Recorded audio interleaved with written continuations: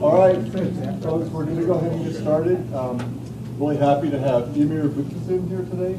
Um, uh, Ymir got his PhD from Cornell, um, working in Ken Birman's group, and since then he's been at IBM Haifa, University of Reykjavik, and currently in the Math CS department at Emory.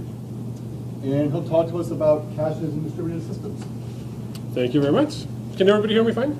Yep. You're good. Okay, great. So I don't know if anybody here has met anybody from Iceland. Let's see if this can work here. Anybody anybody from Any takers? yeah, oh, okay, someone here. Great, okay. So there's like an obnoxious reputation that no matter the circumstances, we're like obnoxiously trying to promote our home country, so pictures of But I'm totally not going to do that, right? Okay, instead, I'm just going to talk about my research. So my research has kind of three different hats. So the main hat that I wear is kind of a systems builder, build systems, network systems. Um, I also uh, fiddle around with security. So in particular, I'm a co-inventor of something called format string exploits, for those of you who know of uh, security stuff, and I have a security company that I co-founded. Uh, and also do some data science, so like application-driven machine learning, things like that. So today I want to talk to you about a main thing that I've been doing, which is the systems aspect here. So in particular, I've been very interested in a question called data replication. So this is the question of how do you get the same data to multiple people or computers or wherever at the same time? It's a very fundamental question in distributed systems, I think. Now this question gets really interesting when you start to add any twist to it. So in particular, some of the things that I've been working on are things like consistency. So suppose you go to that wild party and that first you want to post pictures of them on Facebook. So first you like you remove your mom from like the list of people who can see your pictures, and then you upload all those juicy photos and so forth. So consistency is this idea that your mom will not be able to see your pictures instead of the uh, request of the permissions being changed arriving in a different order at the side. So that's a, um, a very interesting problem in computer science, particularly distributed systems that uh, a lot of people are working on. I've also been looking on some security properties of this kind of data replication, in particular aggregation of data. So suppose you want to get data from multiple sources, you want to make sure that the thing has high integrity and high confidentiality. How do you do that? How do you have tamper-proof sensors and stuff like that? Something that really compels me is scalability. Like how do you make things scale? How do you get data to lots and lots and lots of different places? So as soon as you start asking that question, you have to actually add a whole new dimension to the problem. You have to add the dimension of how quickly do you need the data to get there.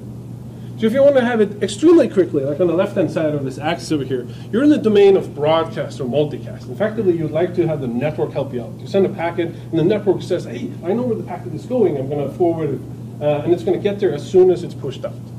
So I've done a, a, lot of work on trying to make this multicast primitive, which exists everywhere, but is almost never used, to try to make it useful.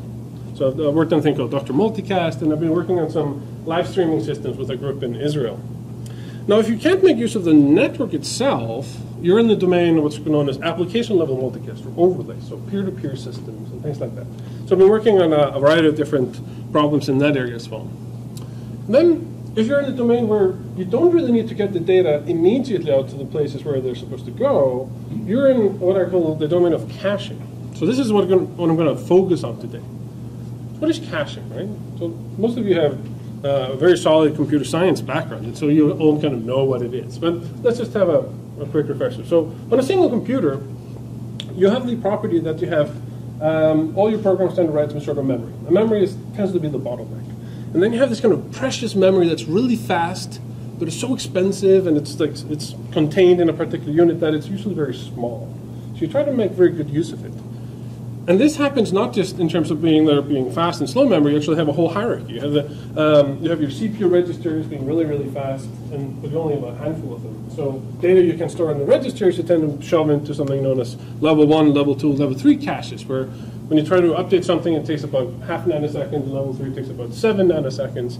And then if you can't fit it in your several megabyte big uh, L3 cache, you're into main memory. And main memory actually takes 100 nanoseconds to access. And there you have maybe several gigabytes of, of uh, storage to play around with. And when it doesn't fit in RAM, you have to go to disk, right? And just like spinning up your disk, it's like a glorified CD player, right? Um, if spinning up your disk takes 10 million nanoseconds just to get it to the right location, then you start reading the data, right? So there's a whole hierarchy here uh, that we have to uh, be mindful of. It really goes uh, from the faster memory on the top to the big and cheap memory here on the bottom. Right? So this is the memory hierarchy and the notion of caching. This is the traditional view of caching. Okay? So what I'm going to talk about today is kind of a more distributed variant of this. So suppose we take the same idea and try to apply it for the web. So how do these big websites work?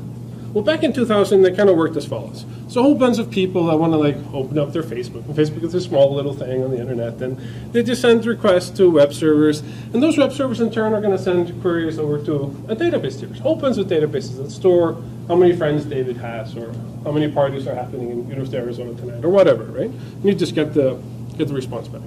And databases, kind of by their design, they're going to go into disk, a very well structured disk, and try to find the answer. And as we just learned, like disk actually take a very long time to find the answer. So as this scales up, what happens, right? Um, so very popular websites have kind of moved to an alternate design, and this is in the past maybe 15 years or so, where instead of going directly and having the web service talk to the database, they're going to talk to what's called the memcached tier or cache tier. So now what's going to happen is that if I'm looking up, for instance, how many, uh, I'm, I'm rendering the Facebook front page. If I'm looking up how many friends David has, I may first ask the task here, uh, this cache here over here, hey, have we already computed this? Do we already know how many friends he has? And the caster may, in many cases, just return the result. Be like, yeah, we just did that. And I have it here in my RAM, and I just looked it up. So this is a very fast response. Um, so we only have to touch RAM here, and uh, the bottleneck in this particular case here is just the network. So between machines and a data center, you're looking at maybe 500,000 nanoseconds, 500 uh, microseconds. And for the results that you don't have in your cache, you then, and there are much fewer of them, talk to the database and get the response. And of course, the database always knows the full response. This is kind of the, the distributed caching ledger. And feel free to shout out questions if you have it. Okay?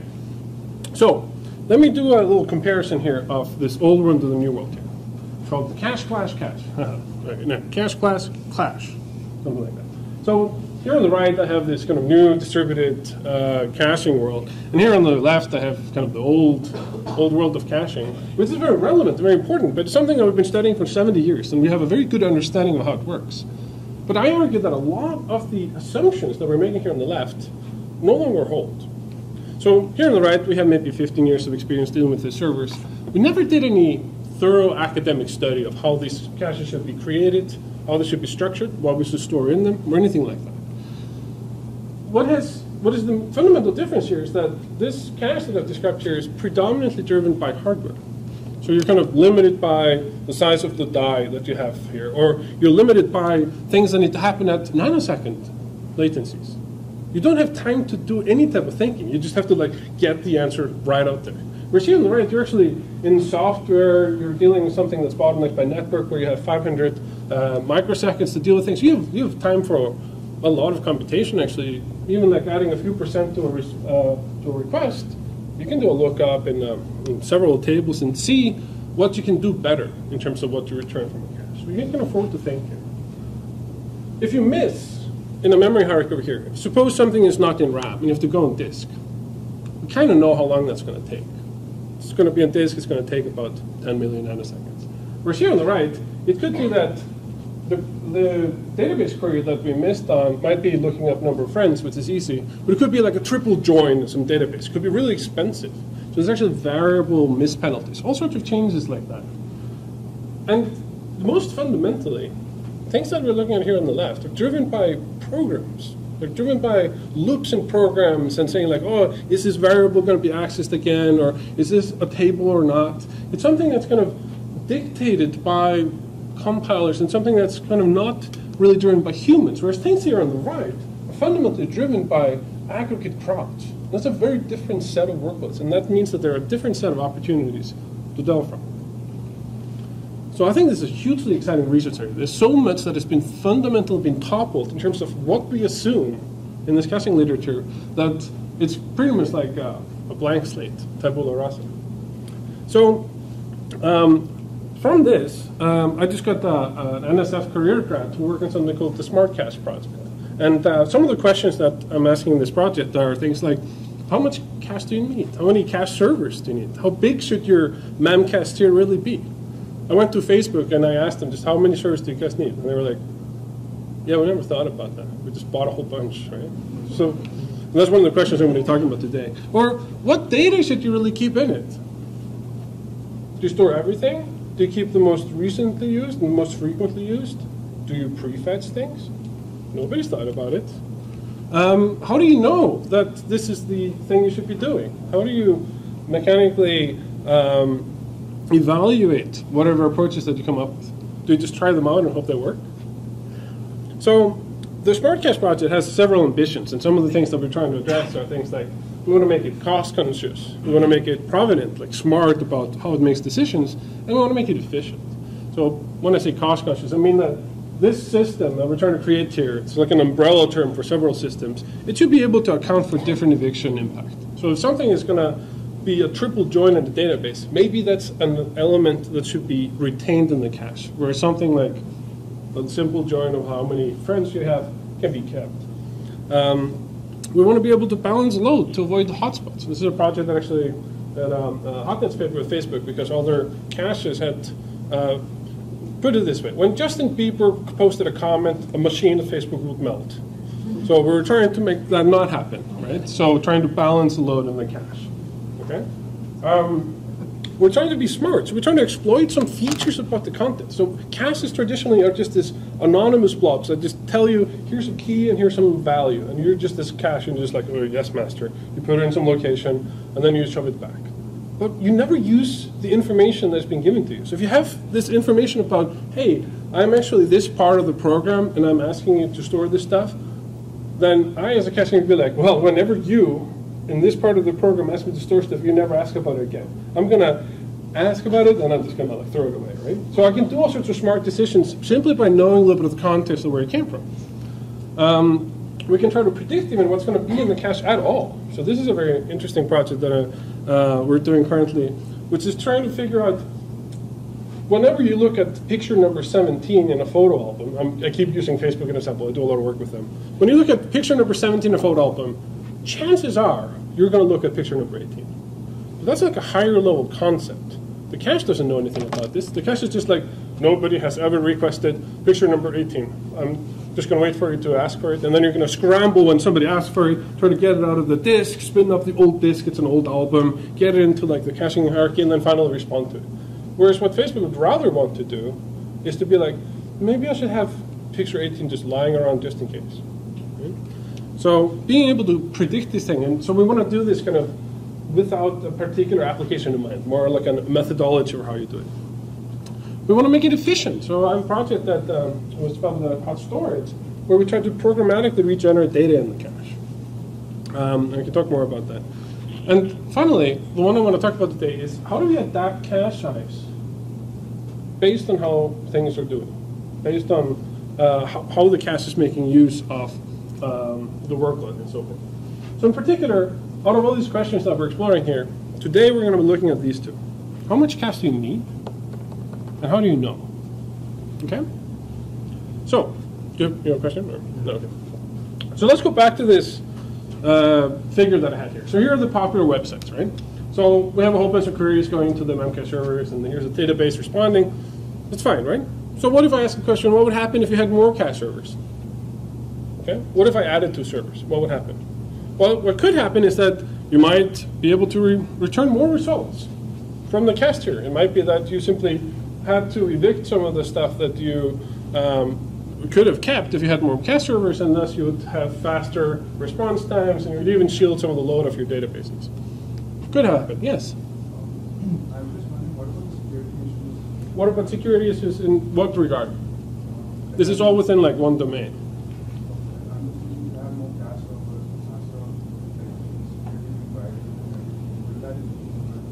The thing is that you're kind of within a perimeter. So the question is about, I'm repeating for them, Doug. So the question is about security. What about security here? What if you add more service? Do you have to worry about security issues? You're within like one domain. So you've already kind of passed the, the outer perimeter of the security.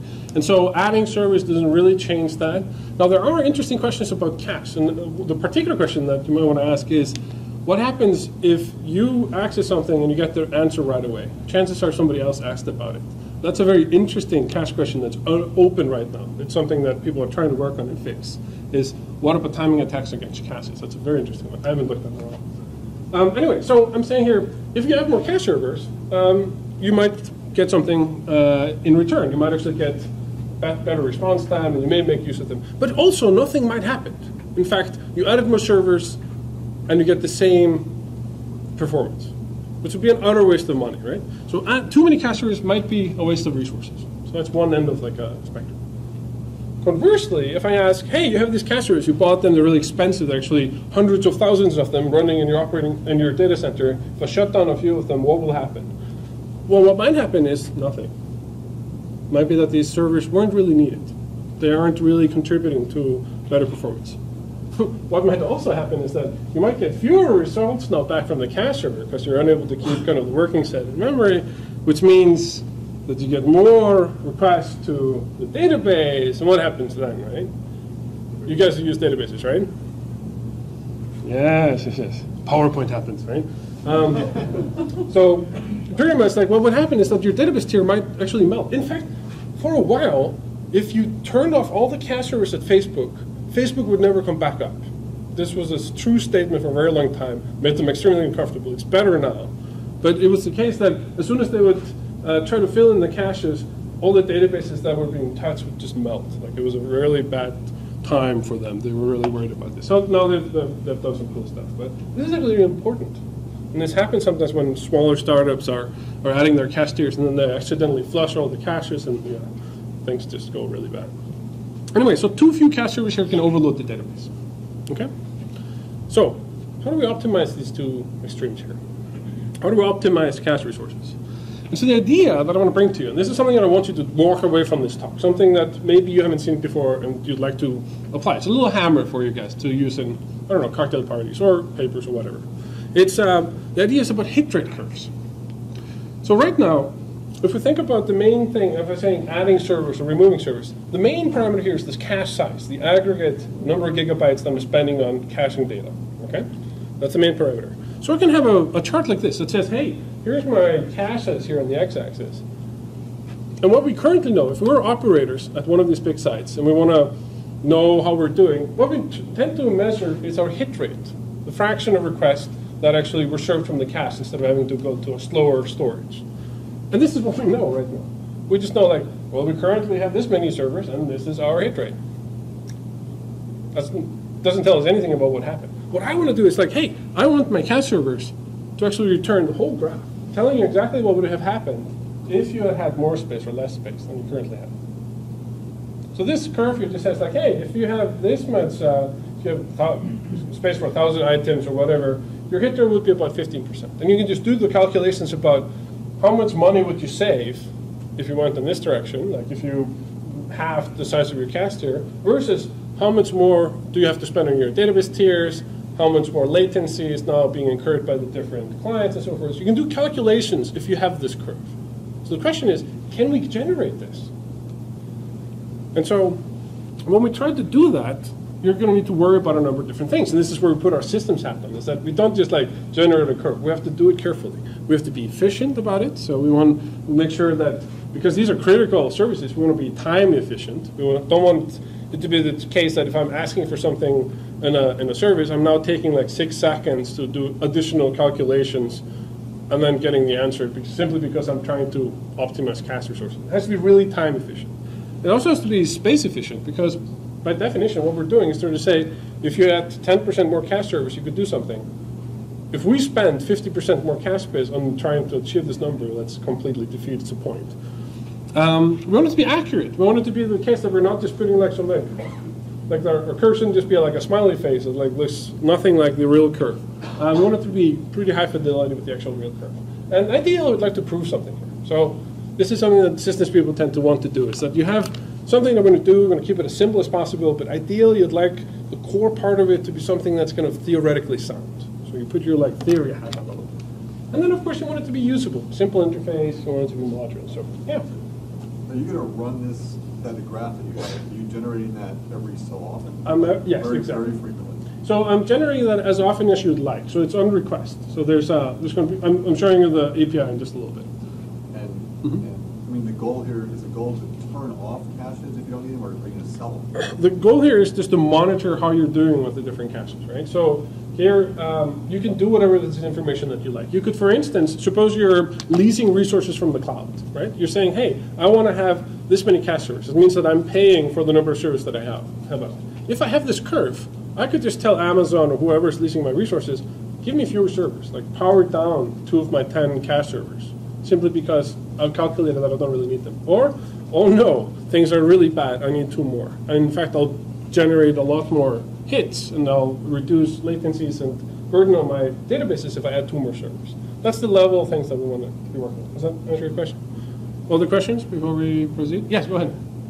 How often can you repeat the same curve? I mean, what's the guarantee that uh, curve might be the same when you run it? Ah, very good question. So there's two, two embedded questions in what you're asking. So the question is, um, can you repeat the same curve? Um, so the two things that, that, that I'd like to say about that is, first of all, it depends on how frequently your workload changes. And so what we observed is that workloads are changing in the cloud not too fast, not as fast as you would be generating this curve. So we're expecting that this is something that like an operator in a room would be monitoring and would be updating maybe every five minutes or whatever is needed for whatever application there is. And the workloads themselves are shifting at a, at a slower pace than that. And tend, this tends to be true. The fact that I don't know that for, uh, for sure is actually the reason why after this project we started to try to do a workload study of what actually happens. And so that's something that I'm commencing right now. Other questions? Yeah. Uh, I was just going to follow up on that because the spikiness of the traffic is kind of what causes the problems in the first place, right? So you're talking about like tail latencies and stuff like that? Well, or- and, and the fact that it's sort of unpredictable when Justin, Justin Bieber is going to post in some sense, right? Like your workload is going to change precisely in the moment that you need to know the best. So we created a little system precisely for these types of peaks, right? So um, uh, we created a system that um, kind of measures traffic that is coming in and it tries to uh, locate signatures that indicate that they're actually going to be popular. So we use some stuff from like the KDD community of seismic detectors. And as soon as you see that something is going to be extremely popular, you replicate that to multiple servers. So that's the kind of that's the way to deal with those types of like hotspots that are going to come in, right? Uh, we're doing that currently. Actually, I think Facebook is putting into production for video right now. So like trying to detect popular videos before it happens. Um, okay, so let's move on here. So here's pretty much the, the system that we want to create here. We have a cache server, and um, uh, it's multi-threaded, and this is important here. And uh, the interface that it has is that you get some requests coming in to like a get or a set, um, and we have a replacement algorithm that takes these elements here. And what we want to do is that we want to have something that works here in parallel called Mimir. So good there. And whenever there's a hit in the replacement algorithm or a miss or a set or something, we want to know about it. So we get this, uh, this information. We use it to estimate the current hit rate curve, so HRC here. Um, we have ghost lists that I'll tell you about in a little bit, an aging policy. And then periodically, or on request, there's an export HRC routine here that generates these figures. And it can do so as often as you like. So that's kind of the architecture we want to build here. So what I want to focus on really is what's happening over here. Okay? So let me bring out some definitions here. So here's something about caching that would be interesting to know. There's this thing called the inclusion property. This is kind of cool. So it means that for some cache replacement algorithms, the content of a smaller cache are going to be included in the um, uh, in a bigger cache with the same policy, given the same input. Now let me explain what that means. Okay, so here's like an LRU list. This is like a list here, head of list.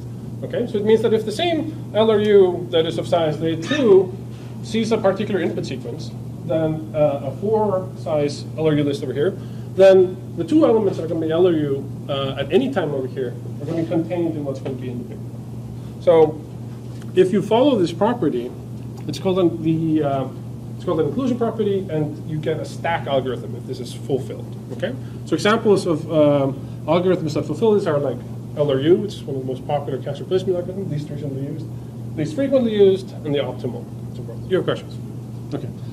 Um, and then another definition I want to bring here is stack distance or reuse distance.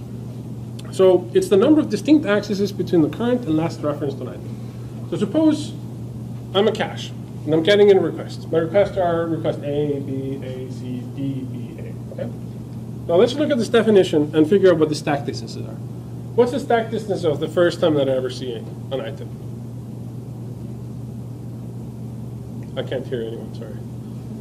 Anyone? I haven't seen it before, it has to be infinite, right? Okay? And same for B, right? We know I haven't seen B before. What about A here? I've seen one distinct item since I last saw A. So it's one, okay? What about C? Infinite? B? I've seen two things since I last saw B, A and C, okay? What about B now? Ah, zero. I haven't seen anything since I last saw B. What about A here? Ah, it's two because I've seen two distinct things since I last saw A. Does that make sense? This is reuse distance. This is an extremely useful metric for anything cache related. So whenever you have a system or whatever you're making and you have a cache in it, think about this metric. This will tell you a lot. This is actually one of the kind of revolutions that happened in the whole ca- caching literature in the past decade or so. Okay? So here's a theory that makes it concrete why I'm even bringing you this definition. It's that LRU, the rec- uh, least recently used cache replacement algorithm, has the following property. It can be characterized as follows. An element E is going to be contained in a cache of some size n, if and only if the reuse distance of that item at that time is the most n. If you think about it a little bit, it kind of makes sense. It means that what's known as stack distance, which is pretty much where in the LRU list something is located, is exactly the reuse distance. Which makes perfect sense because you only move stuff in LRU when you have seen a new distinct element. Right? All aboard? Okay, so we're going to use this idea here. We're going to uh, create these uh, hit rate curves specifically for LRU by using these reuse distances.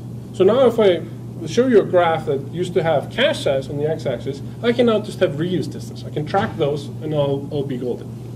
So here's another trick I want to show you. I told you that I could predict what's going to happen to a cache when it, um, when it grows.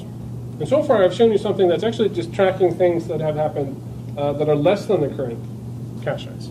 So what we're going to do is that we're going to extend our LRU list with dataless ghost entries. Suppose we can track n entries over here. We're just going to add n more keys. So in other words, we're going to pretend that we have an LRU list that has two n elements, but we're not really going to track the values for these sort of things.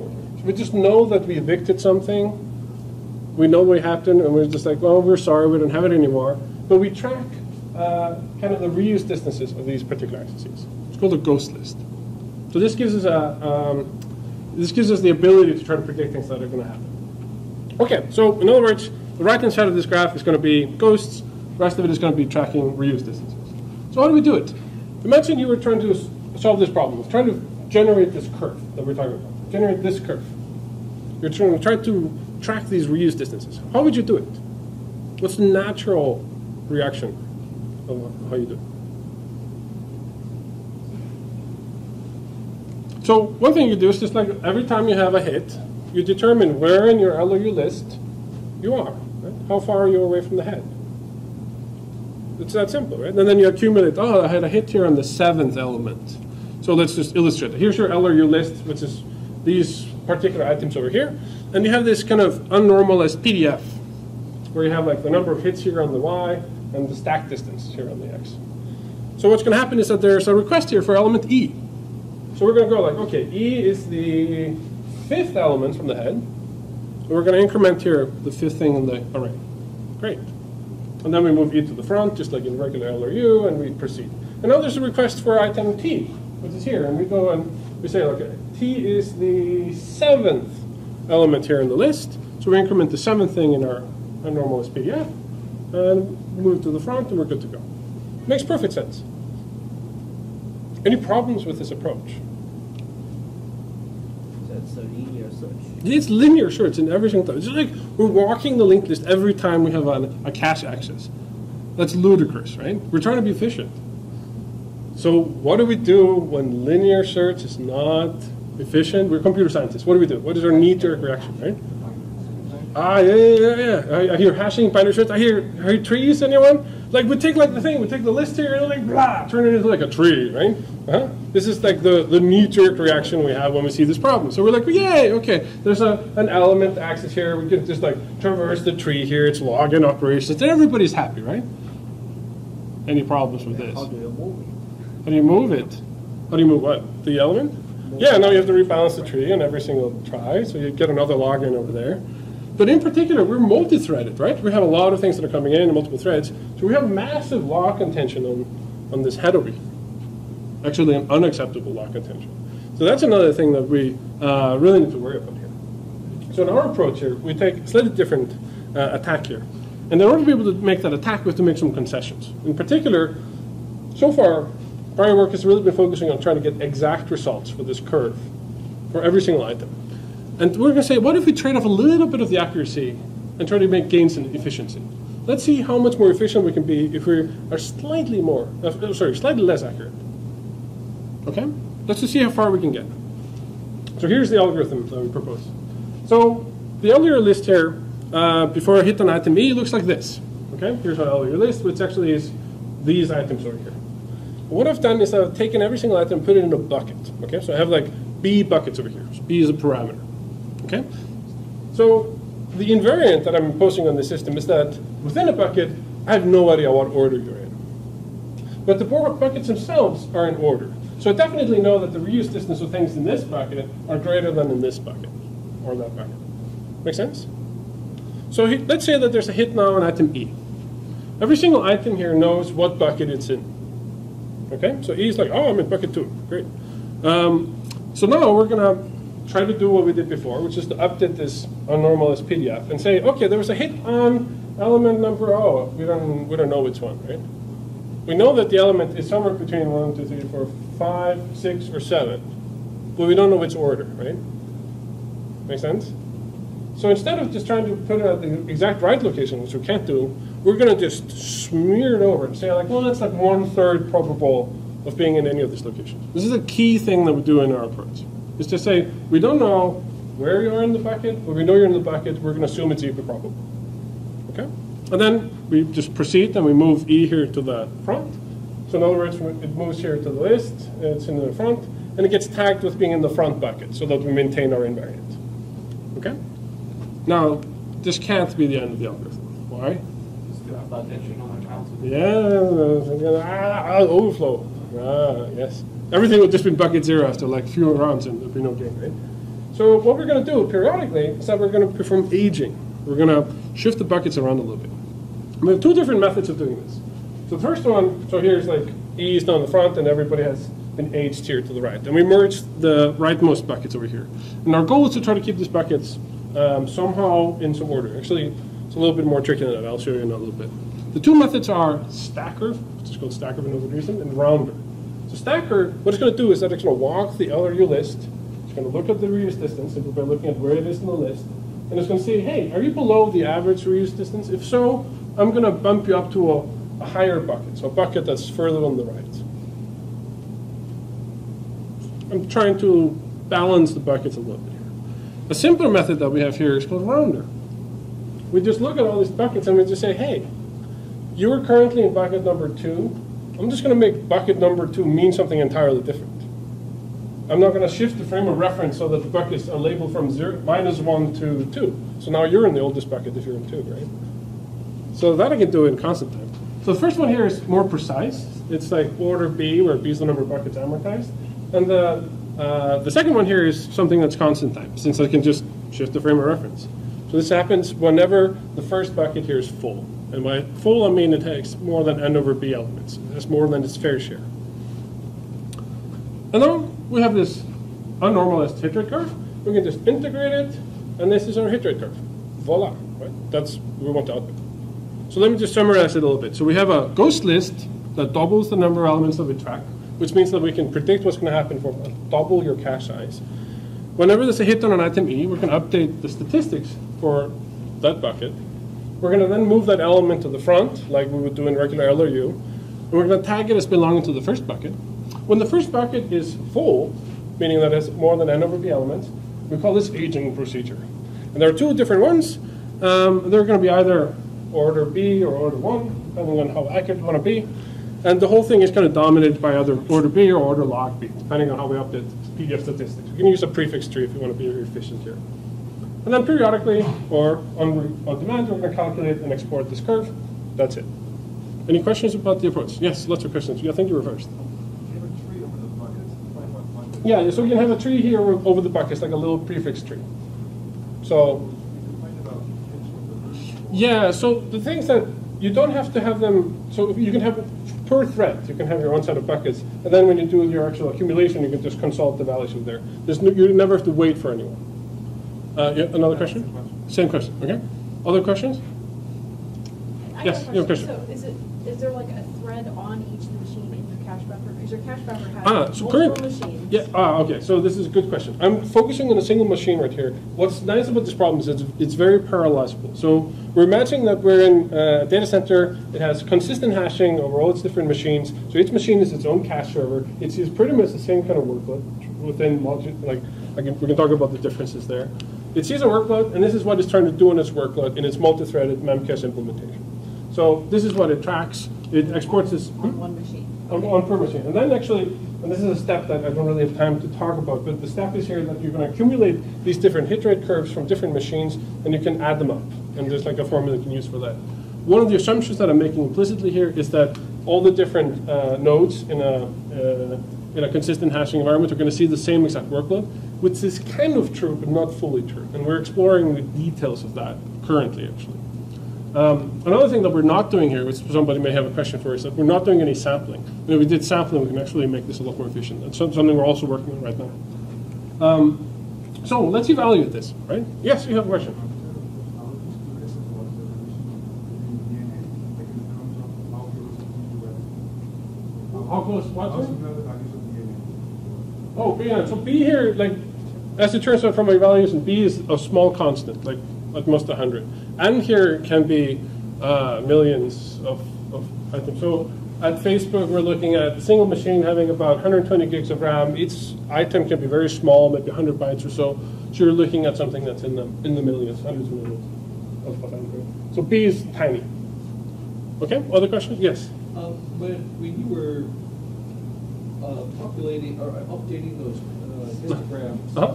based on the hits, I was wondering why you had a whole bunch of columns in each of those buckets instead of just having a per bucket. You know, in this range of the the hit rate curve, we had so many hits. So the variable sized buckets, right? The buckets are changing in size, right? So we have like some granularity on this thing here. That granularity is something that's customizable as well. Um, and these statistics are updated per thread, and then you can accumulate them as well to avoid lock contention again. Uh, does that answer your question? I'm not sure I fully, fully got it. Well, I'm just wondering as you shift the buckets along. Well, I guess yeah, the bucket bucket sizes are changing Yes. rapidly, aren't they? And that's actually very important, as we'll see just momentarily. Actually. Okay. So let's look at um, let's look at the accuracy here, right? So um, I'm measuring accuracy here by what I think is pretty standard, which is just the L1 norm, the mean average error when I compare two distributions. So look at how different are the distributions in every single export name. Okay, and I'll just sum up the absolute differences between them. So here's a graph here for rounder, so the kind of less less accurate but faster of the two variants. And I'm actually starting here at 90%, right? So this is accuracy here on the on the y, which is defined as one minus this error. So here, the different shades of blue actually indicate um, different number of buckets. So as I go from eight buckets up to 128 buckets, I start to see higher and higher accuracies. And the x-axis here are all the different traces that we ran. So we, all, every tra- cast trace that we could find is in here. So these are all the different. Uh, this is like a financial workload that IBM collected. There's a web search one from I don't even know where. Uh, there's a whole bunch of workstation ones from Microsoft. There's all the kind of standard traces from the kind of file system literature and casting literature. Everything, and we always kind of got the result that we're getting really high accuracies. In fact, if I move it over to Stacker, it's even better. Like we're looking at something that's very close to 100% accurate. And it doesn't, like if you're an operator and you're looking at this curve, minute differences between like the truth and, and not are going to be insignificant at this stage. In fact, this is surprisingly accurate. Remember, we conceded uh, the kind of a tiny bit of efficiency here, and we wanted to see if we were really sacrificing accuracy, and, and we seem to not be. And this was actually very interesting to us. It was surprising to us. So we started to look at it, there must be something underneath the hood here that we need to understand a little bit better. So 98 to 99.8% accuracy. So if you look at the curves themselves, so here are a few curves. Here's rounder on the top, here's stack on the bottom, and here's just actual uh, hit rate curves with a different number of buckets again. What we can see is something that you might see when you're doing kind of like polynomial approximation to a curve, like a Fourier series or something like that. You see that like the curve itself kind of starts to like fit more snugly to these kind of very convoluted Cashman curves. This is very interesting that this would happen. So in other words, somehow we're able to hone in on exactly these uh, hard parts of the curve where things shift really rapidly, and as we add more buckets, we simply get a better approximation. There's something very fundamental going on here. So if you let's zoom in here, you can see it really well. It like hones in here on this particular dot. It's very cool, right? So we looked at this like there must be something here. So if we try to put our like theory hat on and try to do something about it, we can say, well, actually, if we go back to how the method works, what it does is that we estimate that you're going to be in this particular range. You're going to have um, the true hit. We put one third here on three different uh, locations. But what would an optimal algorithm really do? So it'll be the way to compare the two, right? So the algorithm really is just taking every single request and saying, I'm summing over all the different possible locations. So here's the possible locations, and I've, I've taken my unit mass here, and I've spread it over this particular interval. Whereas an optimal algorithm would just take the right location, it knows the right location, and just puts the unit mass over there. And conveniently, because I'm looking at the L1 norm, I can just compare these two. And the comparison is not going to be dependent on the size of the, of the buckets themselves. Okay? So you can, just like, I can show you the proof if you, if you like. So if you just do the calculation, you'll see that the mean average error that we can prove from this is going to be 2 over n times the largest bucket, the largest size of the bucket during uh, the traces. And when we looked at the traces, in practice, this is going to be order 1 over the number of buckets. So think about it this way. If I have 100 buckets, I have about 1% error. That's kind of what I can prove here. 1%, order of 1%. So as I, as I, um, it's like this reciprocal of um, this knob that I have for accuracy. Very cool, right? So, performance, that's another thing we have to, have to do. That's one of the things we try to promise here up front, was that things perform really well. So we ran, uh, we modified Memcached to add this Mimir component to it and ran on the standard YCSB workload. Um, accuracy on that workload was very good. Here's the error 0.3% with 128 buckets. And uh, we took 10 nodes here in a, in a cluster. We have like six uh, 2.4 gigahertz machines with 20, no, with 48 gigs of RAM, and we just bombarded this one machine over here that was running a Memcache server, just to kind of keep high throughput. I wanted to see what impact are we seeing on throughput here. So here, throughput here on the y-axis, we're looking at the CASAs here, um, exponentially increasing on the x. And what we'll see is that the regular Memcache, which is red over here, outperforms our modified ones only by a few percent points. So we're looking at throughput degradation that's actually measurable, but it's about 2 to 5%. So that's the concession that you're making here. Same thing goes for latency, so it's very similar graph. So it's not free, but notice that one of the things that we didn't do here was doing any sampling. And so that's something that's kind of work in progress right now. So the student who was working on this, my master students, was hired by one of the companies, that, uh, his name is Carl Waldspurger, a guy who created VMware, hired him to kind of incorporate these types of uh, techniques into something that they're building with CloudPhysics. Uh, because this is a very efficient method and it doesn't do sampling, so if you add sampling, it actually becomes very efficient.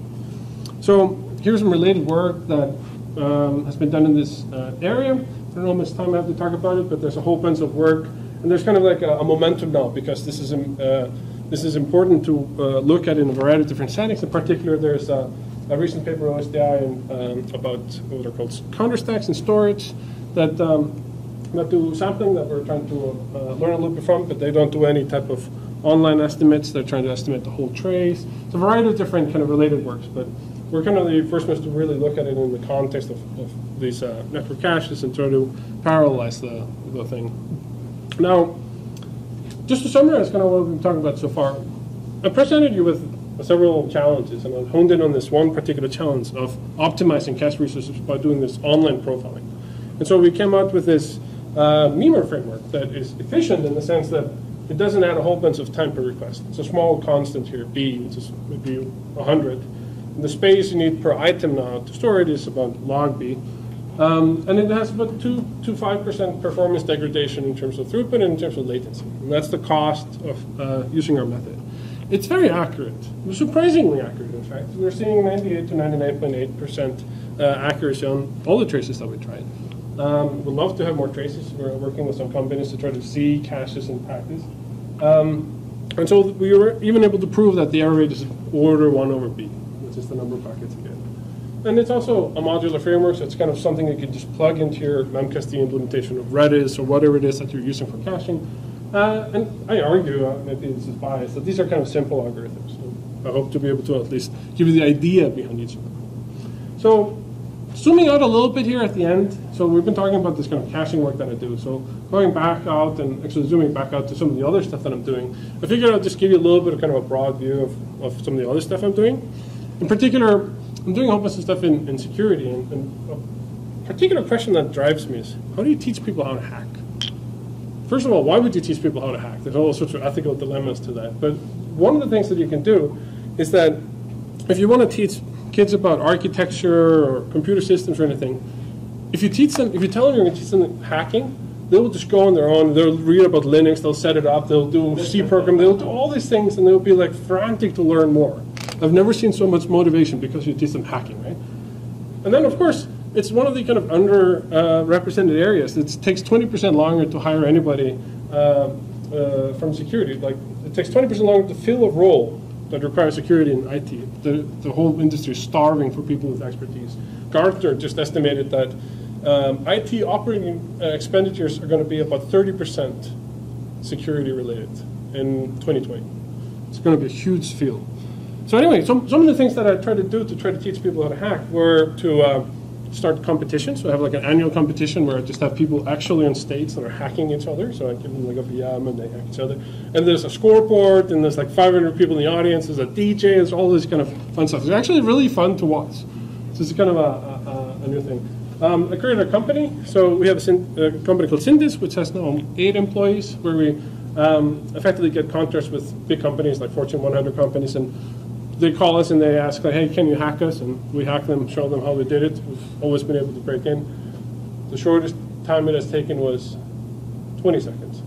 Um, and then uh, I give lectures, so I have like an annual course where I just teach this uh, hacking stuff, and I'm trying to bundle that and create like a MOOC out of it. Um, and uh, I was invited to give like a TEDx talk that's not been viewed by like more than half a million people um, about this particular endeavor of trying to teach people how to hack.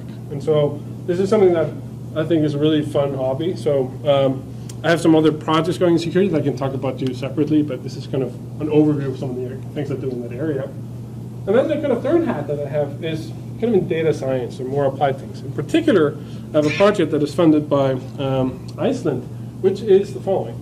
Can you detect epidemic outbreaks by looking at cell phone metadata?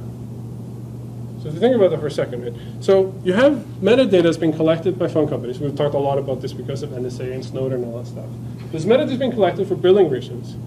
It contains information like, hey, this anonymous person A called anonymous person B from this tower at this time. From this, you can actually infer movement of individuals, and you can also in infer routines and thus deviations from people's routines. And if enough people in a population deviate from the routine, something may be going on. So this project is, is aimed to try to figure out if we can have this kind of behavioral sensor that says, hey, there's a lot of anomaly going on right now. So, like in real time, predict that there's an outbreak going on that needs to be investigated. This would be a huge contrast to how things are done currently, because currently, like for instance, let's take H1N1 in 2009. What happened was that there's um, you need to call people, you send out surveys. It takes months before you can say like, hey, there may be there may be an outbreak going on, right? It's like long after it's uh, long after you actually need the information. You need to estimate the severity of the disease, how many people get infected per case, all these different things, and it just takes a very long time. So real-time outbreak is something that's a, it's a big thing. And we're already seeing something. We have data from Iceland that we're given. It's actually coupled with health data, where we actually see this in the data. If we know that you're sick, there is measurable difference in your behavior that we can detect. And we have a lot of people now working on this particular project. We're doing some deep learning on the behavioral uh, parts and some other fun stuff to try to figure out how your behavior changes and if we can detect this in a general population. So it's kind of a, a fun project that uh, can discuss with you further. Anyway, so that kind of wraps up my talk. So here's my summary slide of what we were talking about before, and I'm just happy to take questions. Thank you very much.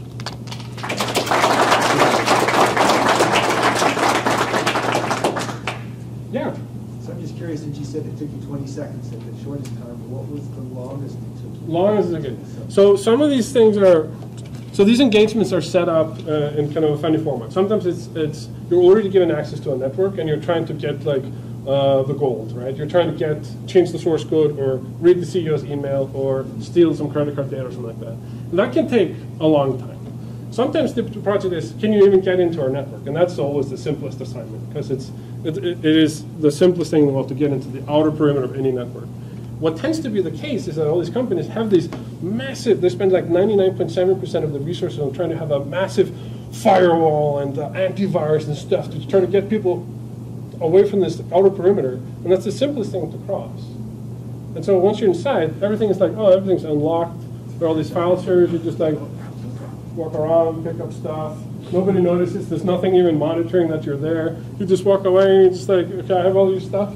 And they, they don't know what hit them. It's, it's like, uh, okay, here's a real case. There was a financial company that services trillions of dollars per year. They called us, can you hack us?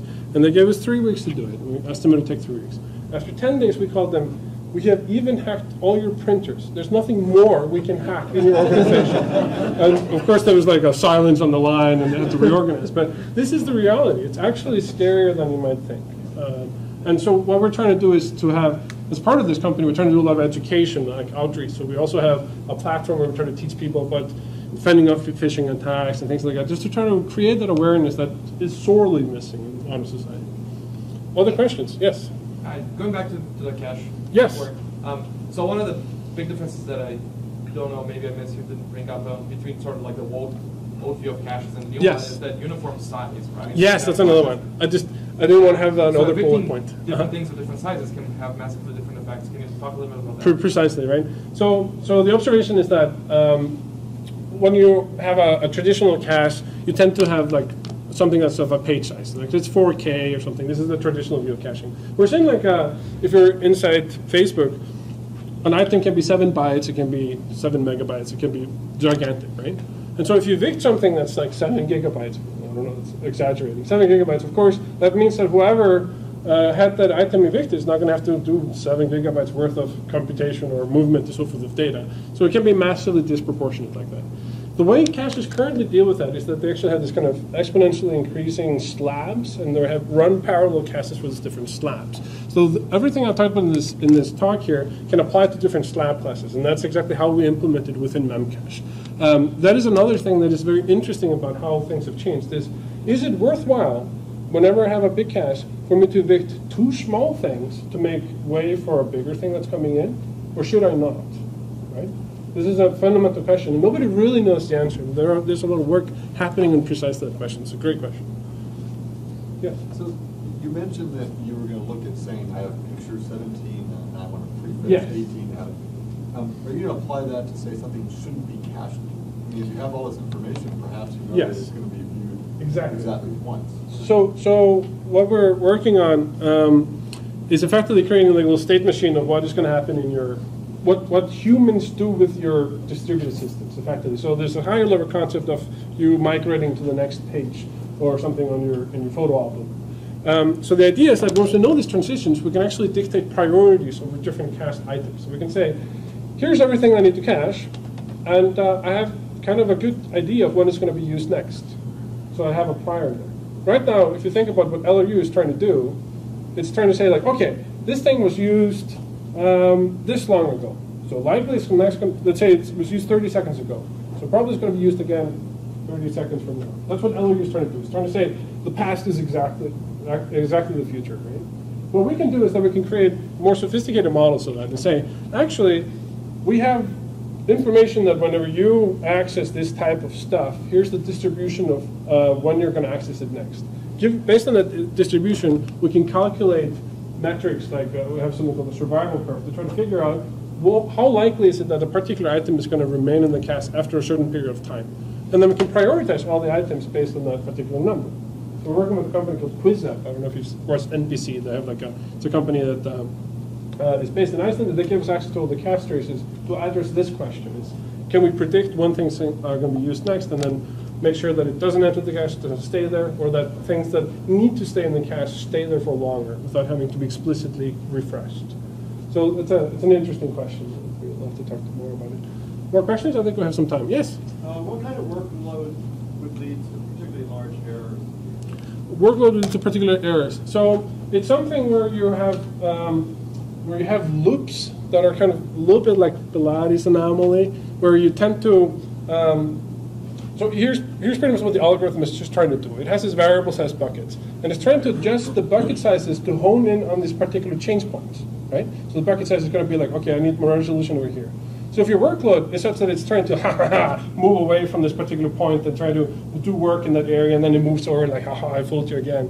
That's, that's the type of workload that's going to lead to very strange buckets, especially the last bucket is going to be very big. And that means that, for instance, our theoretical bound no longer holds, and it probably means that the actual uh, error on its error itself is going to be high. So there was a workload there that actually had pretty bad, um, bad results here, comparatively to the other ones. It's far away in time here, but let's see. What? We can search? Yeah. Here? Yeah, it was web search, right? Which is kind of uh, a bummer, right? Given that uh, this is the target uh, practice here. But web search here actually is a cache, a mid-level cache that sees a very funky um, subset of requests in the system. In fact, it's sitting behind a bunch of other caches that have already kind of taken away a lot of the locality of what's being asked. So it's reasonably random. Um, and there are some other quirks in this particular workload that I think we should investigate in more detail, but we haven't really. So I think this is what we saw in practice, and we kind of thought it was good enough. Where we moved from this is to just say these are workloads that are kind of historical, and we want to get like the workloads of the particular target applications, which is why we're working with QuizUp, why we're working with Facebook, why we're working with Akamai to try to see what's actually happening, and then work from there. And that's just we're not there yet. Yes. Um, Two very similar questions. Okay. One, on the assumption that all the caches are hitting similar events, can you instrument one cache out of thousands and then project your answers across the data center? And then the second question, in a cache, could you just instrument a single thread and is that simple, or is that? I mean, it's, it's effectively the same question, right? I mean, it's just trying to see, just like, if you see a subset of the requests that are uh, sampled in a particular manner, does that reflect on the overall workload? And what I said before in kind of very fuzzy terms is, yes, pretty much, but not quite, right? And understanding the discrepancy between the two is something that I'm actually a student working on right now, is to try to see to what extent can you take caches and create a hierarchy, and the hierarchy being that if you have a branch, it means that you have, for instance, consistent hashing going on or possible multiple threads or something like that. You're splitting the workload based on something related to the keys.